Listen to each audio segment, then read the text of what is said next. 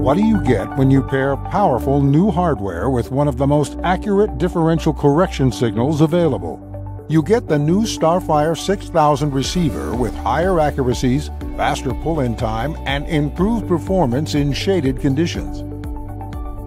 Like its predecessor, it offers a full range of differential correction levels, from SF1 on up to the premium RTK option.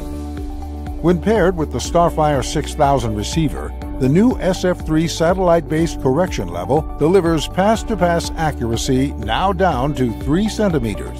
That gives you in season repeatability and RTK like accuracy without having to invest in RTK hardware.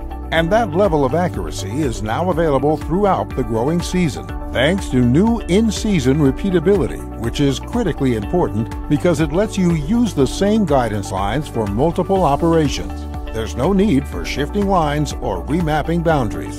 You also can take advantage of long-term repeatability with RTK for accurate boundary mapping and using guidance lines over multiple years, a must for strip till farming practices. And that's not all. John Deere was the first to market with RTK Extend, and now we are the first to offer an industry-best 14-day window. RTK Extend means a lost signal won't keep you from getting your work done. You can keep working in the field for up to two full weeks with similar precision. With an improved rapid recovery feature, the new system can quickly reacquire lost signals, which means less waiting for the system to return to full accuracy. That means you're no longer in the dark when working in fields shaded by tall, dense tree lines.